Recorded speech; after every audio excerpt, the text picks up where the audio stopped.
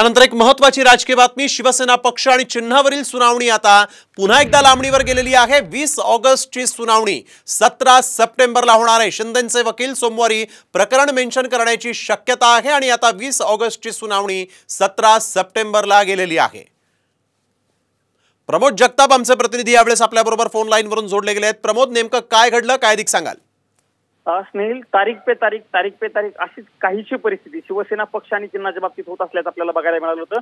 खरं तर खूप महिन्यांच्या नंतर वीस ऑगस्ट ही तारीख सुप्रीम कोर्टानं सुनावणीसाठी निश्चित केलेली होती. मात्र आता ही सुनावणी पुन्हा महिनाभराने पुढे ढकललेली आहे आणि ही सुनावणी आता सतरा सप्टेंबरला होण्याची शक्यता आहे. प्रामुख्याने आपण जर बघितलं तर शिवसेना पक्ष आणि अ, धनुष्यबाण चिन्ह एकनाथ शिंदे यांना देण्याचा ज्यावेळेस निवडणूक आयोगाने निर्णय घेतलेला होता त्या निर्णयाच्या विरोधात एकनाथ उद्धव ठाकरे यांच्या पक्षाच्या वतीनं सुप्रीम कोर्टामध्ये याचिका दाखल केलेली होती.